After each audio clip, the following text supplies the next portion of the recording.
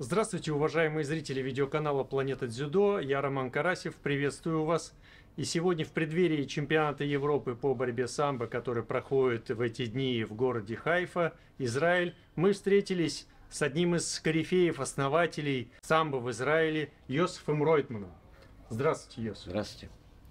Для наших э, зрителей хочу, чтобы вы вкратце рассказали, в каком году впервые э, создалась Федерация самбо Израиля. Самбо Израиля создалась в э, день приезда моего э, из бывшего Советского Союза. Я сразу, как только приехал, я начал заниматься созданием э, самбо в Израиле.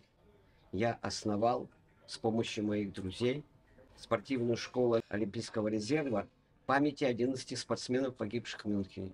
И там это был, было самбо и тяжелая атлетика, и все виды борьбы. И это было где-то э, 75-76 год.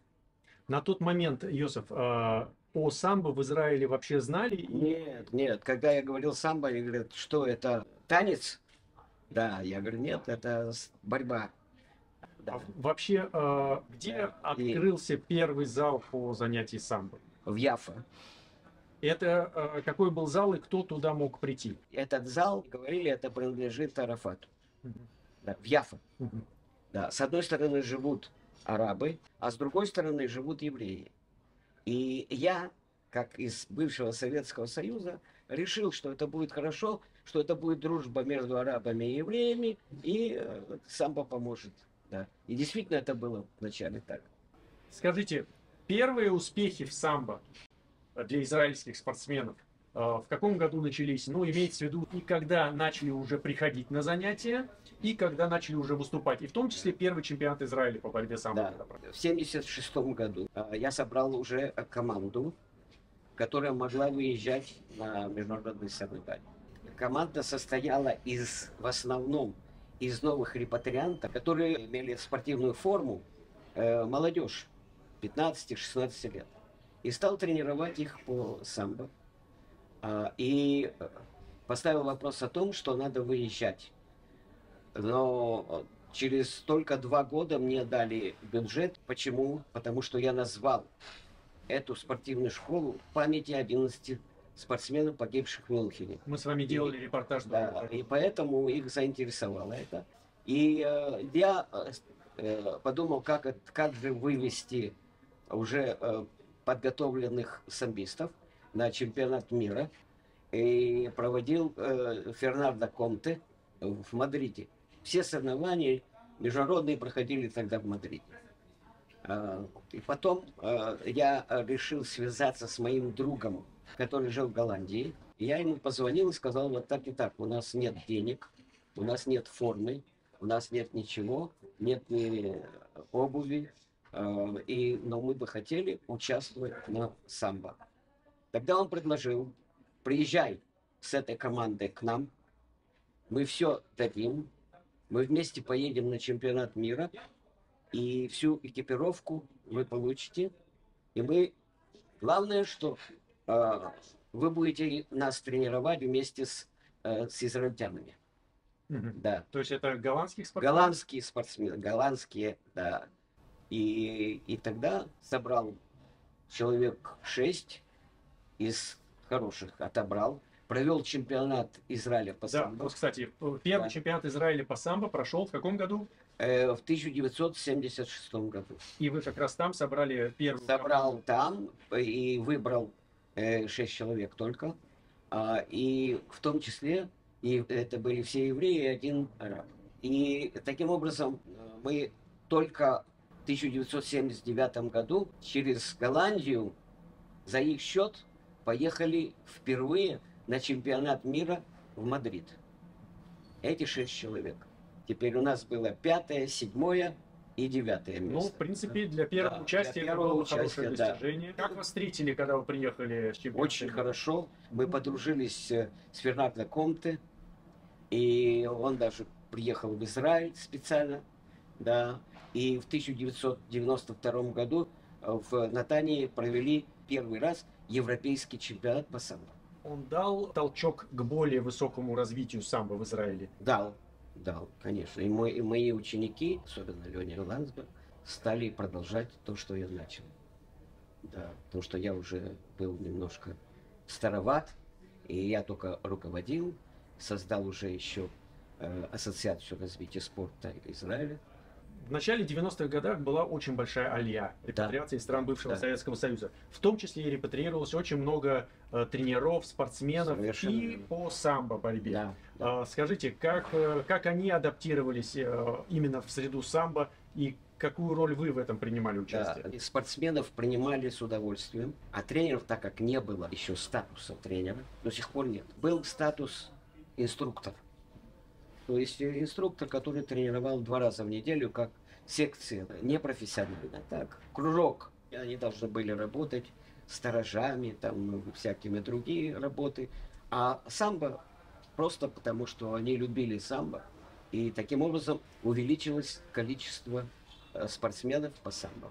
Тренера, которые приезжали э, в начале 90-х и потом, э, именно самбийские тренера, они э, открывали, создавали клубы самбо. Совершенно верно, открывали.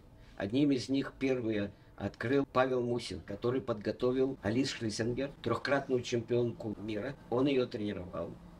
И подготовил, подготовил еще других. Были созданы федерация, вошли туда из борьбы, э, некоторые из дзюдо.